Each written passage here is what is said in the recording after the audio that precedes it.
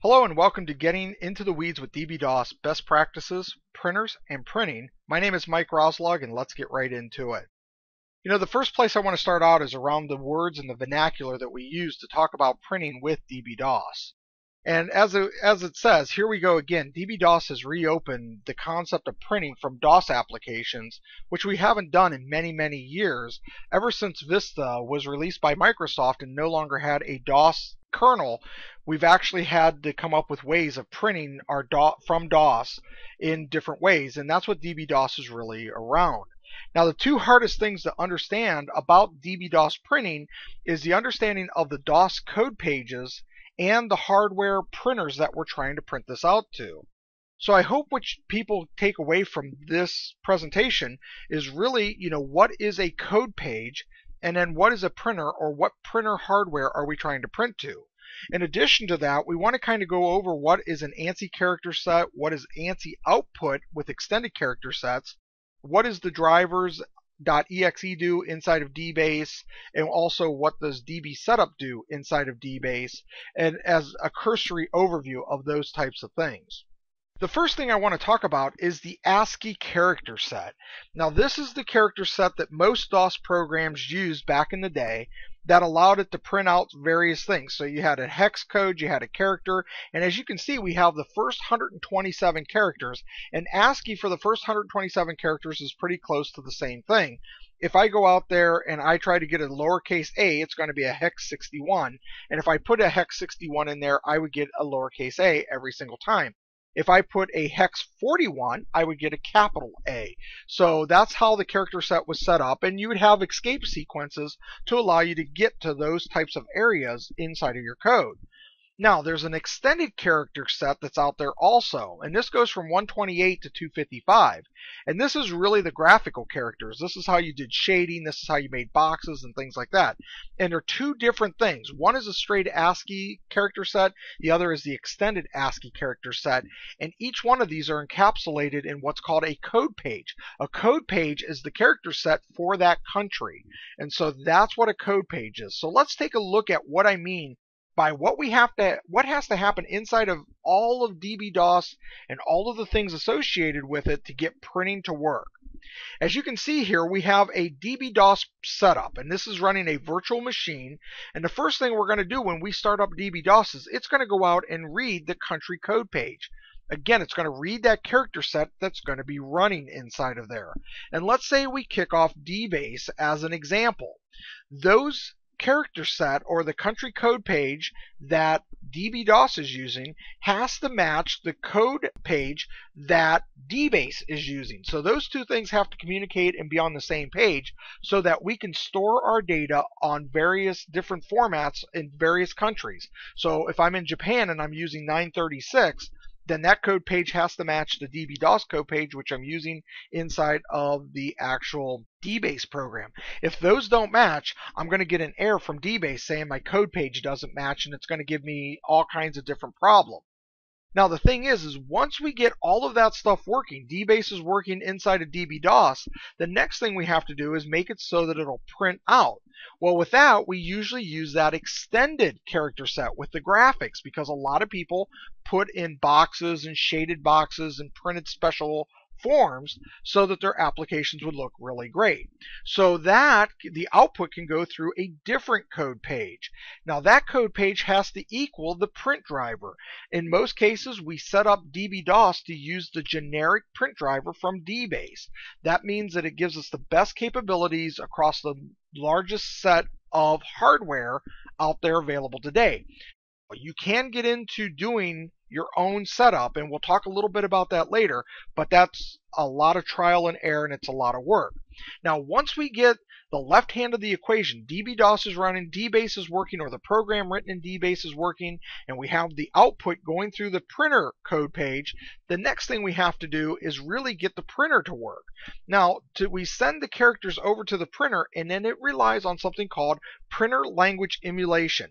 This is where the operating system of the printer basically understands those escape characters coming in, either from the print driver or from the raw characters themselves.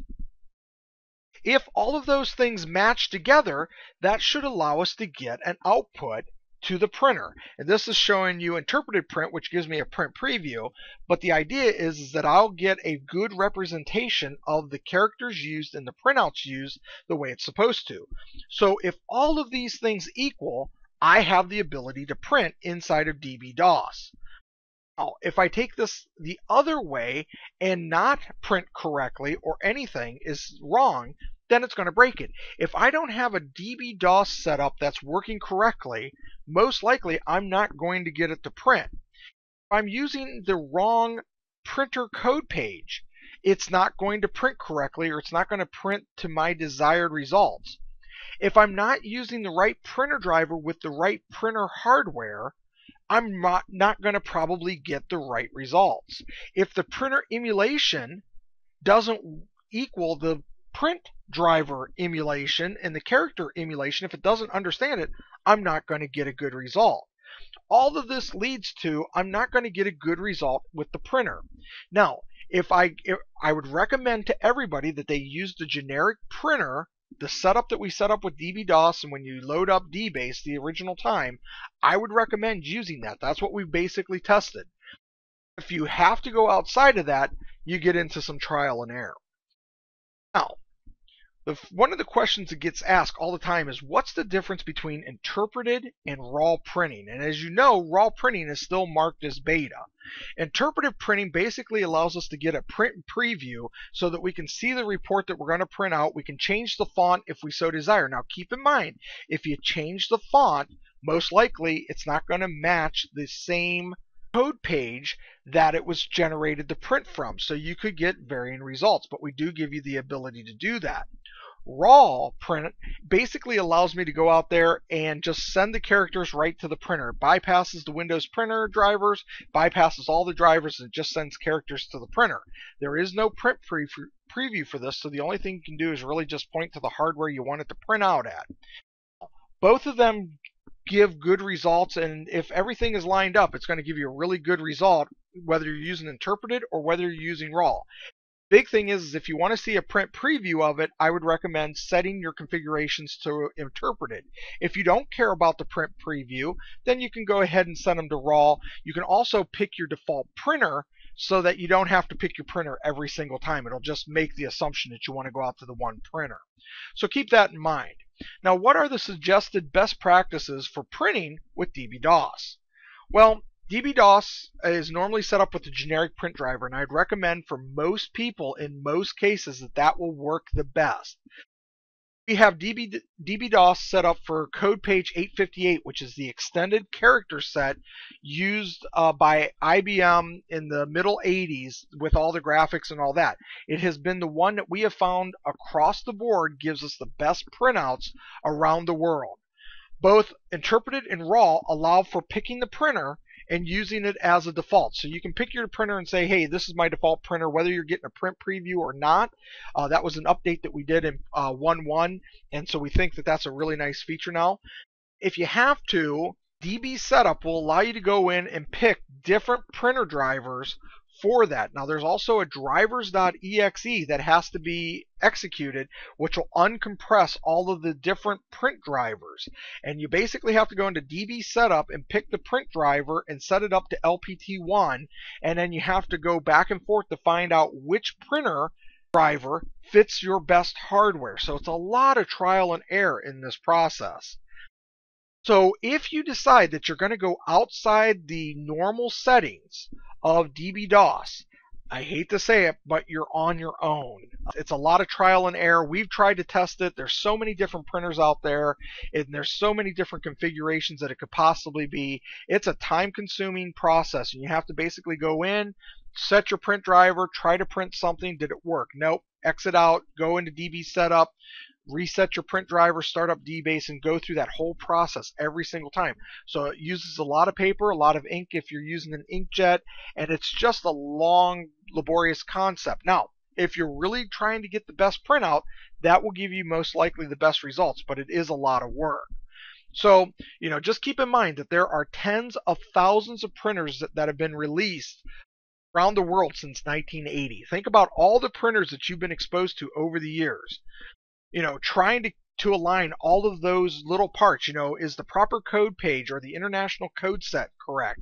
Is dBASE code page not match the print code page? Or are we trying to print different characters? You know, am I using the proper print driver that talks to the current printer correctly? Remember, we're talking about print drivers from 1991 and we're expecting them to actually talk to a 2012 printer. And my example is I'm, I'm trying to use the HP LaserJet 6 language to talk to my brand new laser uh, brother 2270 DW. And so, how does that work? Can you get it to work? And yeah, you can, but again, it's a little bit of trial and error to get it into there. And remember, you've got to make sure that your code pages match the character sets that your laser printer will basically accept as a proper character set. So there is a lot of areas that you can get bogged down in when trying to set up a printer and a, use a different printer driver than the generic and try to get everything to be perfect. It's a lot of hard work to get that to happen. We've also found certain printers need certain print drivers or obscure print drivers that aren't part of the driver set. So you may have to go out and hunt for a print driver.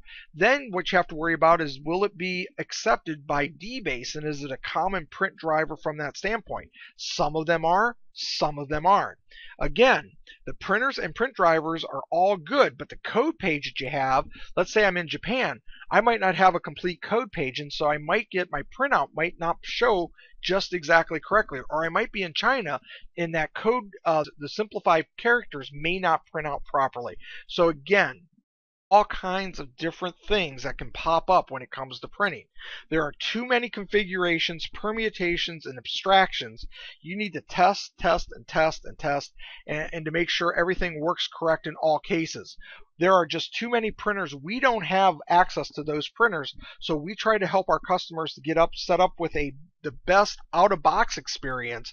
But then if they want to go beyond that out of box experience and get the perfect printout, then that basically puts the onus back onto them to do the trial and error and to get their hardware working. And keep in mind, and this is a very important thing, all the hard work of trying and trying and trying may not result in a good result. There may be no print driver that will work with your current hardware and the current code page to give you a perfect result.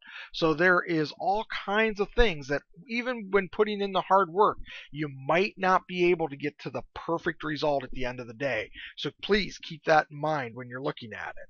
So we believe that printing is now working across the board for the dBASE program. And if you want to print to it, it works pretty well. You can change the code bases. We've got uh, wizards in there to allow you to modify things if need be but for the most part, you should be set up.